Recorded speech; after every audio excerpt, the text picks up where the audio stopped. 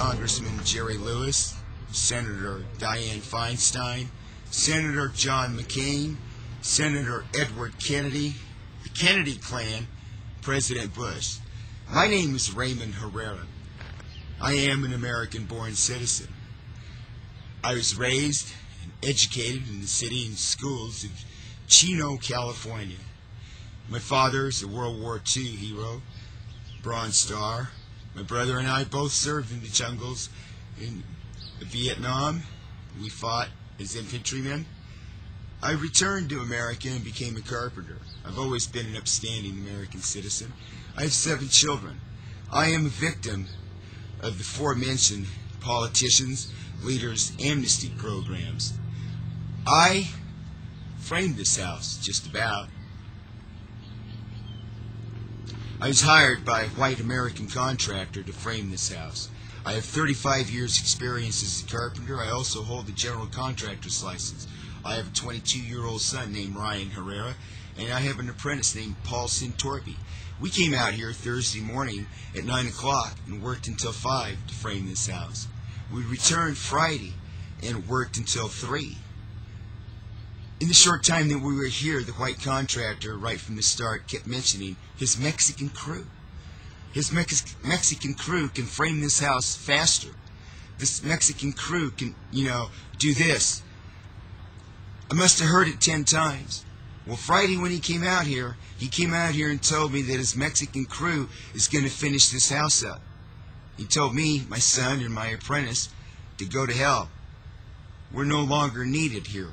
I stand on American soil in front of an American job site with an American family who wants to live the American dream, who has been cheated out of the American dream by white contractors such as Jeff Mays and amnesty programs of the aforementioned American leaders.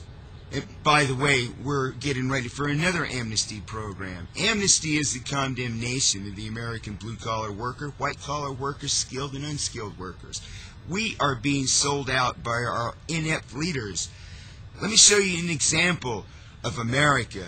The America my father fought to preserve, my brother and I, and all Americans fought to preserve. Let me show you what happens to the American bounty when people like John McCain and Edward Kennedy want amnesty programs to give the America's bounty away to third world peasants. I have no rights in America, even though I've sacrificed just like all the rest of us, all true Americans. Come into my job site. Let me show you an American tragedy.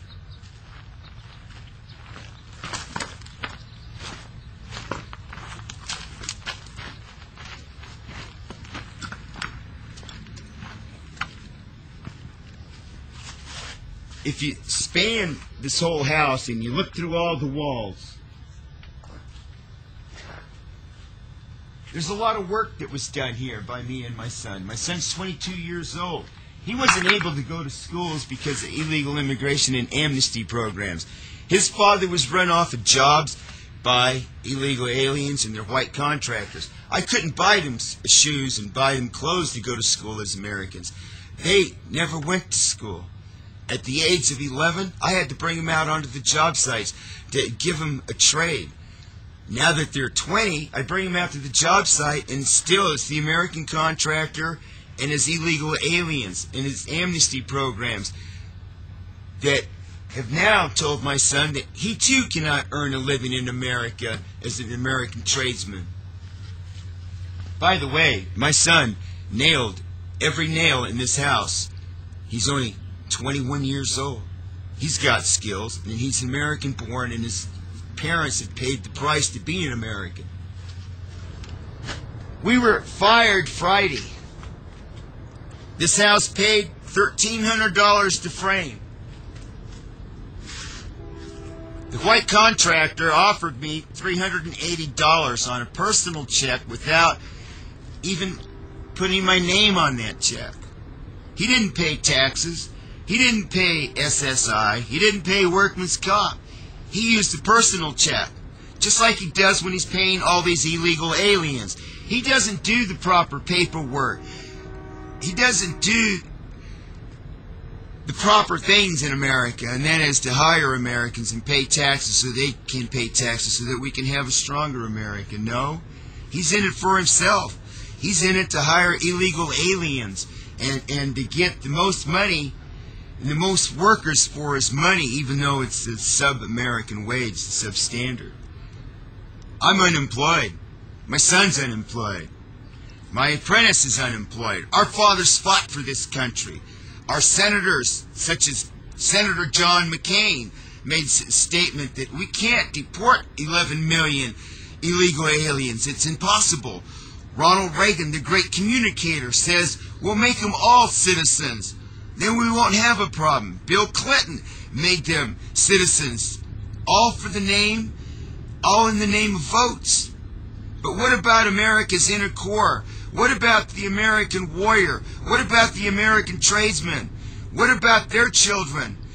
My father didn't spin his wheels or anybody else, any other war veteran, land on the beaches for third world peasants to come here and take away our livelihood, the American dream.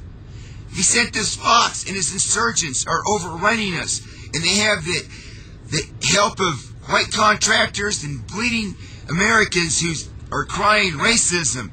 This contractor told me ten times about his his Mexican crew, his Mexican crew, his Mexican crew. Then he fired me because of his Mexican crew. I feel very well discriminated in America. I feel that I've earned the right to make a living in America.